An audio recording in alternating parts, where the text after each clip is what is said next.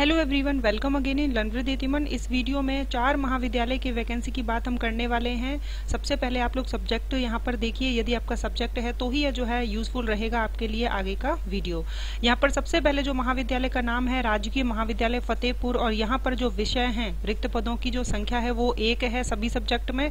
Subject है यहाँ पर राजनीति विज्ञान, भूगोल समाज शास्त्र हिंदी साहित्य, अंग्रेज़ी साहित्य, उर्दू, रसायन शास्त्र, भौतिक शास्त्र, प्राणी शास्त्र और वनस्पति शास्त्र। शास्त्र नेक्स्ट जो विद्यालय महाविद्यालय है, राजकीय महाविद्यालय नेछवा राजनीतिक विज्ञान, भूगोल, समाजशास्त्र, हिंदी साहित्य के यहाँ पर वैकेंसी है। तो कैसे जो है वो एप्लीकेशन करने हैं, सारी चीज़ें मैं आप लोगों को इस वीडियो में बताने वाली हूँ। नेक्स्ट जो वैकेंसी है, दो और राजकीय महाविद्यालय, एक तो लोसल है, दूसरा फतेहपुर। लोसल में हिंदी साहित्य, इतिहास, समाजशास्त्र, अर्थशास्त्र और भूगोल की वैकेंसी है।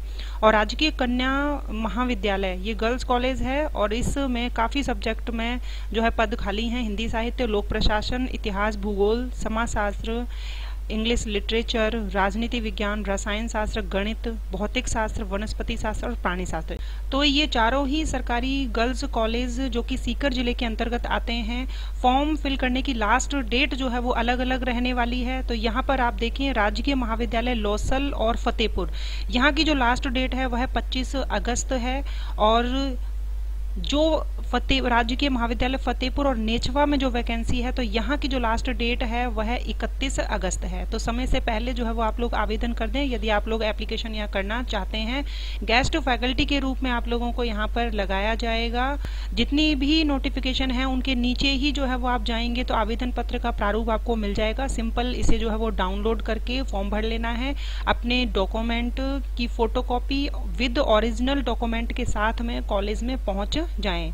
तो सभी स्टूडेंट से जो है वो मेरा यही कहना है कि सभी अपने ही ज़िले के अंदर जो है वो एप्लीकेशन करें ताकि हर ज़िले के स्टूडेंट को अपने ही ज़िले में जो है सीट मिले। ठीक है? जितने भी समय तक जो है यहाँ पर आप लोगों को लगाया जाएगा तो आप यहाँ काम करें।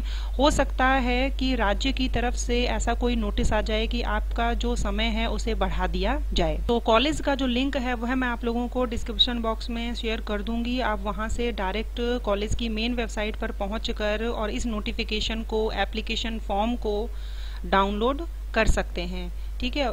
सभी चीज़ें जो है वो अच्छे से पढ़ के और उसके बाद ही जो है वो आप एप्लीकेशन करें। तो पिछले वीडियोस मेरे देखिएगा, जहाँ पर मैंने आप लोगों को बताया है कि कितना जो है वो पेमेंट आप लोगों को यहाँ मिल रहा है, कितने समय के लिए आप लोगों को लगाया जाएगा, और सिलेबस जो है वो आप लोगों को कब तक जो है यहाँ पर कंप्लीट करवाना है। सारी चीज़ें पिछले वीडियोज़ में आप देख सकते हो, फॉर्म कैसे फिल करें। तो चलिए, जैसे ही और भी जो है मुझे विज्ञप्ति जो है वो जानकारी मिलती है, मैं आप लोगों को बताऊँगी। मिलेंगे नेक्स्ट वीडियो में। Thank you.